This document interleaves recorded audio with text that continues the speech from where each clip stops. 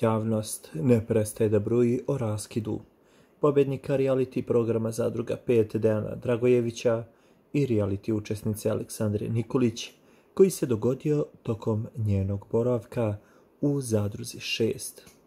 Kako sada otkriva izvor blizak Dejanu, sve ovo bila taktika kako bi on obezbedio sebi veliku svotu novca.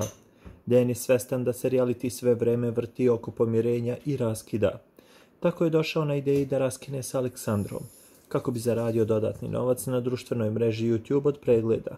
Naime, njemu je upravo najgledaniji snimak gde ostavlja javno Aleksandru. Priča dobro obavešten izvor i dodaje Aleksandra je sve vreme konfuzna i veruje da je ovo sve Dejanova igra.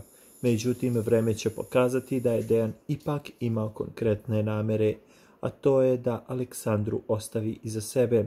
Ona je u svemu tome kolateralna šteta, zaključuje dobro obavešten izvor.